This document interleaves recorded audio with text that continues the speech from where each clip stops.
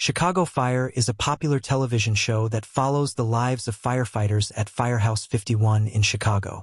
Filming for the show takes place in various locations in and around the city.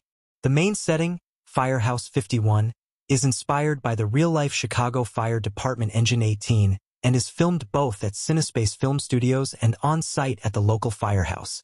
Molly's Pub, another iconic location in the show, was initially filmed at a bar called Lottie's, but was later recreated on a stage at Cinespace. Filming locations are chosen based on the story and characters, with different neighborhoods representing different settings. The show has featured notable Chicago landmarks like Millennium Park and Navy Pier, capturing the city's essence.